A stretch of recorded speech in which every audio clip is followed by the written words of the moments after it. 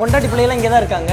இங்க சொத்தெல்லாம் அழிஞ்சு போச்சு. காரு வித்தாச்சு. ஏழு பைக் வச்சிருந்தேன். பைக் வித்தாச்சு. இந்த பசங்கெல்லாம் சேர்ந்து எண்ணெய் வித்துட்டாங்க. அசோக் செல்வன் நடிப்பில் குதூகலமான திரைப்படம் சபாநாயகன். இப்போது உங்கள் டிஸ்னி பிளஸ் ஹாட் ஸ்டாரில் Celebrate Indian weddings with the most trusted jeweler, Sri Kumaran Thangamaligai. கையை நட்டு கணிச்சு கொடுக்குறேன் நான். எழுபத்தி ஒரு வயசுல டான்னு மண்டையை போட்டுருவேன். எப்படி நம்புறது? நான் ஓப்பனா கேட்குறேன் என்ன பண்ணா நம்புவீங்க நீங்க? ஓப்பன் சேலஞ்ச் என்ன பண்ணா நம்புவீங்க? நீங்க இப்ப சொல்லுங்க நான் பண்ணி காட்டுறேன். எனக்கு ஏழு வயசுல தேர்ட் ஐ ஓபன் ஆச்சு. யார பார்த்தாலும் அவங்க சாவை தான் ஃபர்ஸ்ட் கணிப்பேன். நான் சமீபத்துல பங்காரடிகளா இறந்து போனாரு. அவர் சாவி எங்க குடும்பத்துக்கே தெரியும். விஜயகாந்தோட மரணம் எனக்கு தெரியும். பொறுங்க அதே சொல் வர்றேன் அதெல்லாம் நிறைய லிஸ்ட்ல இருக்கானுங்க. எல்லா லிஸ்ட்ல இருக்காங்க. இப்போ அந்த குடும்பத்தையெல்லாம் விட்டு விலகி வந்துட்டீங்களா? இல்லையே என் பொண்டாட்டி பிள்ளைலாம் இங்கே தான் இருக்காங்க. இப்போ மூணாவது குழந்தை பிறந்து ஆமா ஆம்பளை பையன் பிறந்திருக்கேன் எனக்கு. அந்த ஆம்பளை பையன் ஆம்பளை பையன் பிறந்ததை எட்டு மாசத்துக்கு முன்னாடி நான் கணிச்சிருக்கேன். ஏன்னா நான் ஒரு அனாத ஆசிரமத்தில் படித்தேன் எங்கள் அம்மா அப்பா என்னை விட்டுட்டு போயிட்டாங்க. நான் படித்து வளர்ந்து லாஸ்ட் ஃபைவ் இயர்ஸில் கோடீஸ்வரனா வாழ்ந்தேன். ஏழு காரு வீடு பங்களா புகழ் பேரு பட்டம் பதவி ஐம்பத்தி ஒம்பது டாக்டர் பட்டம் வாங்கினேன். அப்போ அவள் கொடுத்த பணத்தையும் பதவி பட்டத்தை வச்சு நான் ஆடிட்டேன். நான் அவளை போய் பார்க்கவே இல்லை. இவனை திருப்பி எப்படி வர வைக்கிறதுன்னு தெரியவே இல்லை அவளுக்கு. எல்லாத்தையுமே முடிச்சிட்டேன். ஜீரோ ஆக்கிட்டான் இங்க சொத்தெல்லாம் அழிஞ்சு போச்சு. காரு வித்தாச்சு பைக் வித்து ஏழு பைக் வச்சிருந்தேன். பைக் வித்தாச்சு ஹோட்டல் வித்தாச்சு கறிக்கடை வித்தாச்சு ஸ்கூலு வித்தாச்சு பசங்களை வித்தாச்சு. இந்த பசங்கெல்லாம் சேர்ந்து எண்ணெய் வித்துட்டாங்க. ஏன்னா எனக்கு பிடிக்க தெரியாது. குடிக்க தெரியாது. குடிக்கணும்னு எனக்கு அவசியமும் கிடையாது. ஏன்னா நான் பார்த்துட்டேன். யாரு? சிவனையும் பார்த்துட்டேன் காளியும் பார்த்துட்டேன். எங்க பார்த்தீங்க? நீங்க எப்படி முன்னாடி உட்காந்து பேசுறீங்க. அது மாதிரி இருந்தாலும் உட்காந்து பேசுவாப்ல உங்க வீட்டு பேசினாரு. பேசுவாப்ல உட்காந்துருப்பாப்ல நம்ம கூட இப்போ யார் இருக்காங்க அப்படின்னா நம்ம ஏற்கனவே பேசியிருக்கோம். கிராமிய கலைஞர் அஹ் இன்ஸ்டா ஃபேம். அந்த ஒரு சமயத்துல எல்லாம் அவர் கூட ஒரு நேர்காணல் நடத்தின அனுபவம் உண்டு. இப்போ அவர் அகோரி ஆயிட்டார் அப்படின்னு கேள்விப்பட்டப்போ உண்மையாகவே ஆச்சரியமா இருந்தது. டாக்டர் கலையரசன் அவர் தான் இன்னைக்கு சந்திக்கிறதா இருக்கும். நிறைய விஷயங்களை பேசலாம். வணக்கம். வணக்கம். நான் சொன்ன மாதிரி ஏற்கனவே வந்து ஒரு நடன கலைஞராக அவங்கள பேட்டி எடுத்த அனுபவம் இருக்குது அப்படின்றதுனால அப்படி பார்த்துட்டு ஒரு இன்ஸ்டா ஃபேமாக பார்த்துட்டு இப்படி ஒரு அகோரியாக பார்க்கறதுக்கு ஆச்சரியமாக இருக்குது இன்னொன்று அதிர்ச்சியாகவும் இருக்குது ஒரு நண்பனாகவே கேட்குறேனே ஏன் இந்த கோலம்? என் ஒய்ஃப் கூட டிக்டாக் பண்ணணும் பீச்சுக்கு போகணும் அப்புறம் தேட்டருக்கு போகணும் அப்புறம் என் பசங்கள்லாம் கூட்டிகிட்டு போயிட்டு நல்லா படிக்க வைக்கணும் சுற்றணும் நிறைய ஆசைகள் இருக்குது ஏன்னா நான் ஆல்ரெடி பல நாடுகள் போயிட்டு வந்தவன் நான். ஸோ அவங்களையும் அந்த நாடுகள்லாம் கூட்டிகிட்டு போயிட்டு என்ஜாய் பண்ணணும் அப்படின்னு சொல்லிட்டு நிறைய ஆசை இருக்குது பட் இந்த அம்மா விட மாட்டேங்கிறான் இல்லை அதுதான். நான் கடைசியாக நம்ம பார்த்தப்ப நிறைய விஷயங்கள் பேசியிருந்தோம். ஒரு டான்ஸ்க்காக ஒரு பெரிய அகாடமி மாதிரிலாம் ஆரம்பிக்கணும். அந்த மாதிரியான நிறைய கனவுகள் இருக்குது அப்படின்னு தனிப்பட்ட விதத்தில் கூட நம்ம நிறைய பேசியிருந்தது உண்டு அப்போ திடீர்னு அதையெல்லாம் விட்டுட்டு ஒரு அகோரியாக பார்க்கும்போது என்ன நடந்தது ஸோ இதுக்கிடையில் ஃபர்ஸ்ட் ஆஃப் ஆல் நம்ம ஒன்று புரிஞ்சுக்கணும் ப்ரோ துன்பத்திற்கு காரணம் ஆசையே அப்படின்னு வர புத்தர். ஸோ அதான் உண்மை. ஸோ நான் என்னுடைய ஆசைகள் நிறைய இருந்துச்சு. ஆனால் அது வந்து என்னுடைய குடும்பத்துக்காக கிடையாது. மக்களுக்காகவும் சமூகத்துக்காக மட்டும் தான் என்னுடைய ஆசைகள் இருந்துச்சு. அது வந்து தவறாக பயன்படுத்தப்பட்டுருச்சு. ஆக்சுவலி என்ன மாதிரி ஆளுங்கள்லாம் வெளியே வர வரவிட மாட்டாங்க நான் நாட்டுப்புற கலைஞர்னா ஃபேமஸ் ஆனதே வந்து பெரிய விஷயம்தான்.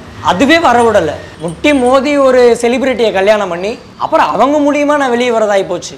ஆனால் ஒருத்தருக்கு உள்ள ஆழமாக என்ன இருக்குங்க அப்படிங்கிறத யாருமே பார்க்கவே கிடையாது. இல்லை அப்போ நீங்கள் வெளிப்படுத்தவும் இல்லையே. வெளிப்படுத்த முடியாத. இங்கே இங்கே தான் நீங்கள் ஆன்மீகமே பொய்யுங்கிறீங்களே. இந்த மக்கள் ஆன்மீகம் பொய்யின்றாங்க. தீக்கா ஆன்மீகம் பொய்யுங்கிறாங்க. நாங்கள் சொல்கிறதெல்லாம் மூட நம்பிக்கைன்றீங்க.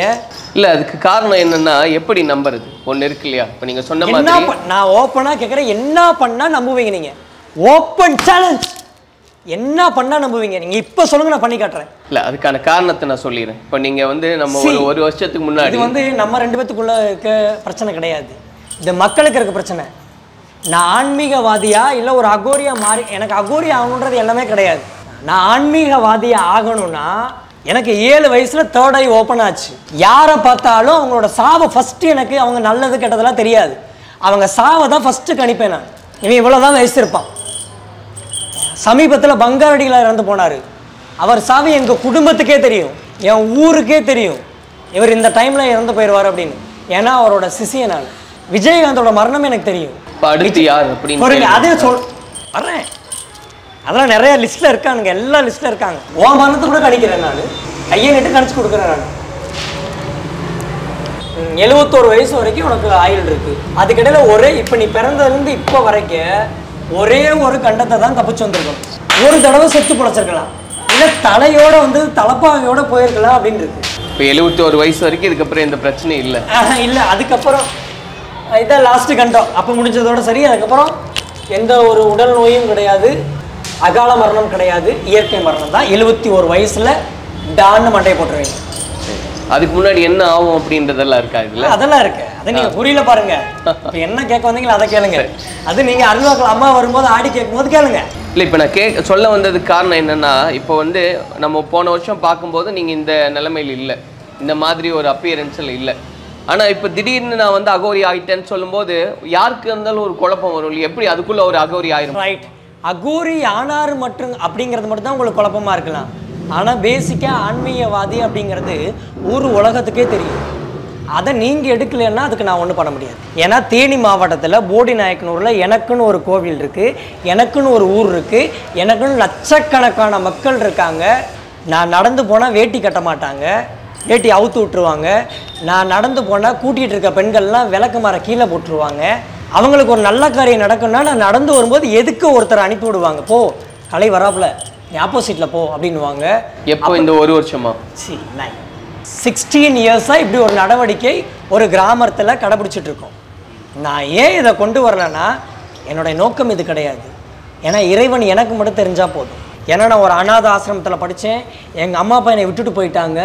நான் படித்து வளர்ந்து லாஸ்ட் ஃபைவ் இயர்ஸில் கோடீஸ்வரனாக வாழ்ந்தேன். ஏழு காரு வீடு பங்களா புகழ் பேரு பட்டம் பதவி ஐம்பத்தி ஒம்பது டாக்டர் பட்டம் வாங்கினேன். இன்னைக்கு ஒரு டாக்டர் ஒரு டாக்டர் பட்டம் வாங்கல நான் நாடு நாடாக சுற்றினேன் பண வசதி இல்லை. தாய் தகப்பனுடைய அனுகிரகம் கிடையாது. சொந்த பந்தத்தோட அனுகிரகம் கிடையாது. ஃப்ரெண்ட் சர்க்கிள் கிடையாது. என்னோட உழைப்பில் சொந்த காலில் நான் மேலே வந்தேன். இது யார் பண்ணா? எங்கள் அம்மா பண்ணா. இல்லை இப்போ அதெல்லாம் விட்டுட்டீங்களா? அதெல்லாம் கூடயே தானே இருக்கு? இப்போ வேணாங்கிறா. ஆனால் இப்போ வேணாங்கிறான்னு இதுலேயும் ஒரு காரணம் இருக்கும். இப்போ நீ வேணான்னு என்கிட்ட திருப்பி தொண்டு செய்யுங்கிறா நான் வந்து தொண்டு செய்கிறேன் ஆனால் திருப்பி என்னை எங்கே ஆக்க போகிறான்னு எனக்கு தெரியவே தெரியாது. ஆனால் நிச்சயமாக அம்பானி ஆக்குவான்.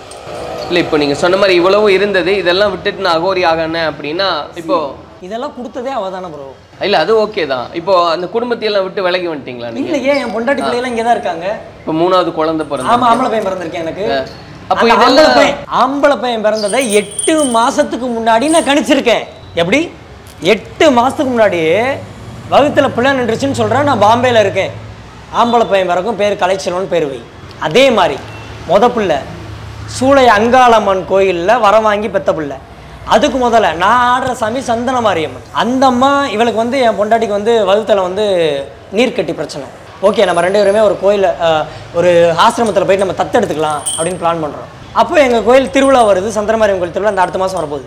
திருவிழா வரப்போகுது. அப்போ நான் சொல்கிறேன் திருவிழாவில் ஆடி சாமி ஆடி நான் தான் உனக்கு பிள்ளையாக பிறப்பேன்.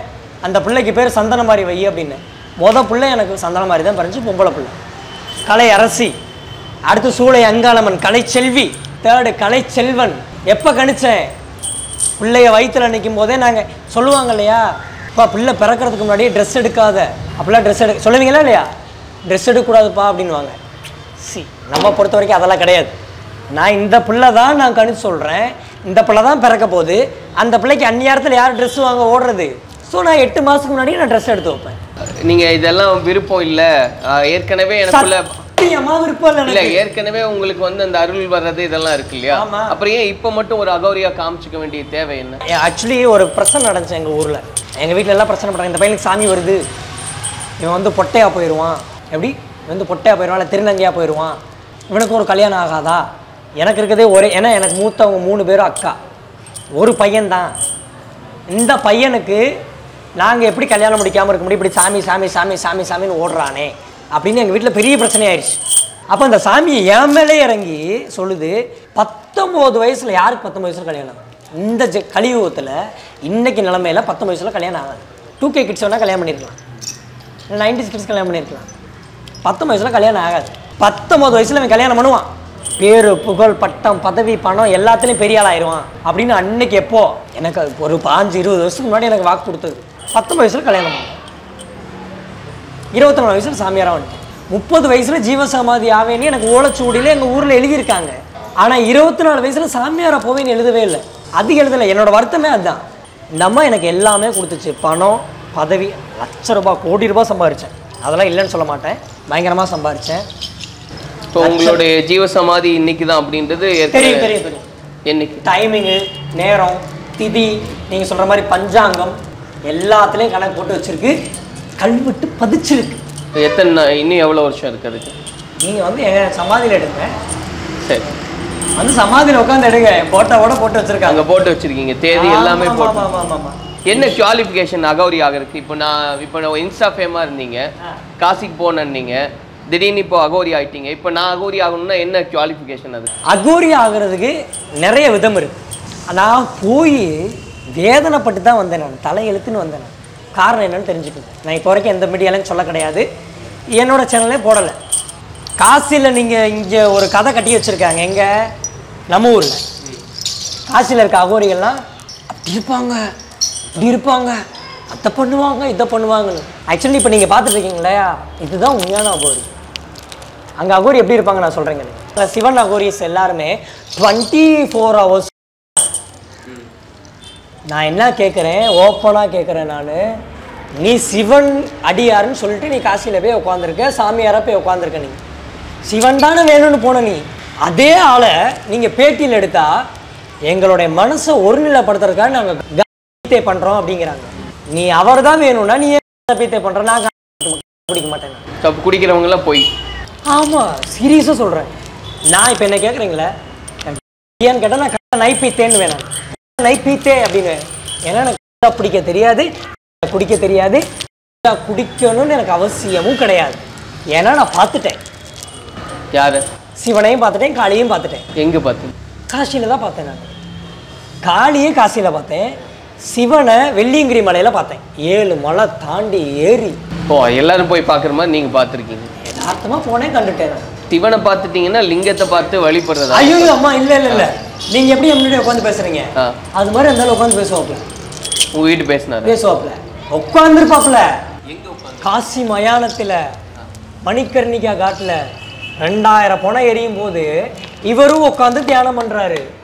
நான் கேட்குறேன் நான் உன்னை நோக்கி தியானம் பண்ணி வந்து உட்காந்தேன் லட்சம் உரு. நீ மந்திரத்தை வச்ச நாம அந்த மந்திரம் இந்த மந்திரம் மிருத்யுஞ்சய மந்திரம் பன்னெண்டு ஜோதிலிங்கத்தோட மந்திரம் அது இதுன்னு எல்லாம் படிச்சு பார்த்தேன். பொசுக்குன்னு வந்துட்டாரு. ம். பேசுனீங்களா அவர்கிட்ட? பேசுறேனே. என்னன்னு? அதான் சிவபுரம் நீங்கள் என்ன நீங்கள் நீங்களே நான் நான் கே பேசணுன்னா அப்படி பேசலை. நான் அவரை நோக்கி தியானம் பண்ண இவர் வந்துட்டாரு. எனக்கு தரிசனம் கொடுக்குறாரு. அதே காசி மயானத்தில் என் முன்னாடி உட்கார்றாரு. ஆனால் என்கிட்ட பேசுகிற மாதிரி அவர் ஐடியா இல்லை. கேட்ட கேள்விக்கு தான் பதில் இருக்கு. அவனை என்ன உட்கார்றாரு அப்படின்னா அவரும் என்ன மாதிரி தியானம் பண்ணி உட்கார்றாரு. ஸோ என்னோட கேள்வி என்னவா இருக்குன்னா நான் உங்களை நோக்கி தியானம் பண்ணேன். நீங்க யாரை நோக்கி தியானம் பண்றீங்க? நீங்க சிவனோட எல்லா போட்டோலையும் பாருங்க. எல்லா பிக்சர்லையும் பாருங்க. நம்ம வரலாறு சொல்லி கொடுத்தபடி திவன் யா சிவன் வந்து யாரோ நோக்கி தியானம் பண்ணிட்டே இருக்காரு. யார்? யார்? நீ- நீங்க சொன்னதே என்னால் நம்ப முடியல கலை. சொல்லுங்க. அது விளக்கம் சொல்லி நான் பதில் சொல்றேன்.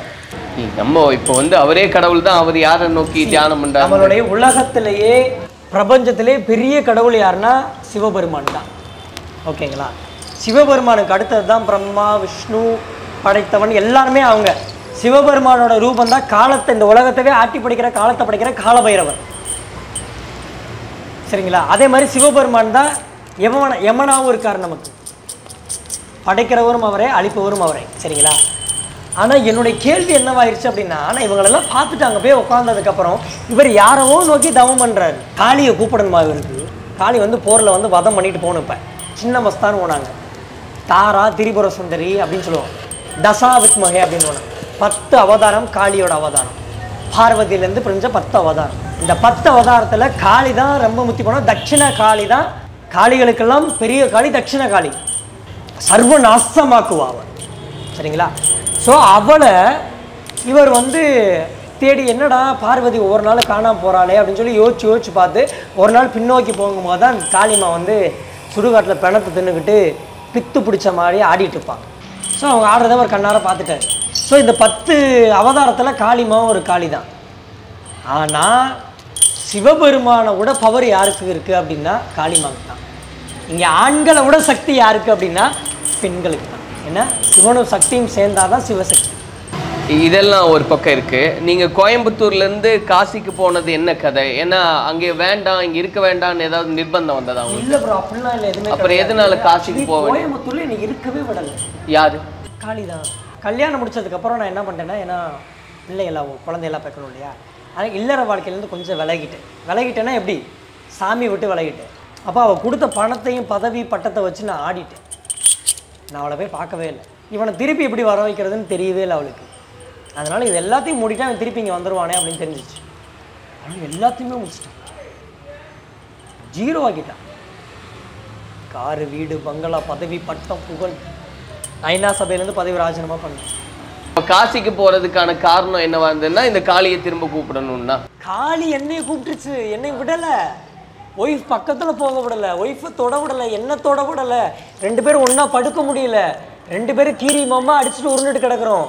இங்கே சொத்தெல்லாம் அழிஞ்சு போச்சு. காரு வித்தாச்சு பைக்கு வித்து ஏழு பைக் வச்சுருந்தேன். பைக்கு வித்தாச்சு ஹோட்டல் வித்தாச்சு கறிக்கடை வித்தாச்சு ஸ்கூலு வித்தாச்சு பசங்களை வித்தாச்சு.